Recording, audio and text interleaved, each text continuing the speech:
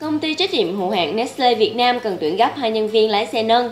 Mô tả công việc, phối hợp với các thủ kho để nắm rõ các yêu cầu về giao nhận nguyên liệu và kế hoạch chuyển thành phẩm mỗi ngày. Thực hiện công tác sắp xếp kho bãi, chuẩn bị vị trí cho hàng mới về. Nhận nguyên liệu đưa vào lai, khung kệ. Chuyển hàng thành phẩm từ DE về lưu kho, đảm bảo đủ số lượng, đúng vị trí. Giao hàng, nguyên vật liệu cho các khu vực sản xuất đứng TO theo FAFO, đưa thành phẩm tập kết ra bãi xuất hàng, chuyển hàng lên xe xuất ra kho ngoài nhà máy, đúng đủ số lượng theo từng xe. Hỗ trợ các bộ phận khác khi có yêu cầu, nâng chuyển, đổ rác, lấy mẫu, chuyển mẫu cho QA kiểm kho. Thực hiện công tác kiểm tra, bảo dưỡng, vệ sinh xe hàng ngày, đảm bảo xe nâng luôn trong tình trạng tốt, an toàn và sẵn sàng phục vụ các công việc nâng chuyển hàng hóa.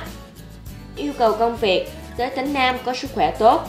Yêu cầu về trình độ học vấn, tốt nghiệp trung học cơ sở trở lên, có chứng chỉ, bằng lái xe nâng, có kiến thức về vi tính cơ bản, có kinh nghiệm lái xe nâng một năm trở lên, có kinh nghiệm chạy xe trong khuôn kệ chui.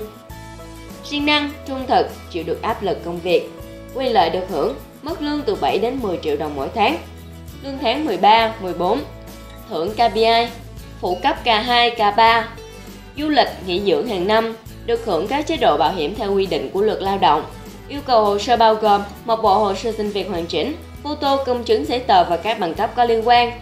Thông tin chi tiết về công việc vui lòng liên hệ công ty trách nhiệm hữu hạn Nestle Việt Nam. Địa chỉ số 106 Duyệt 6, đường 2, khu công nghiệp Amata, thành phố Biên Hòa, tỉnh Đồng Nai.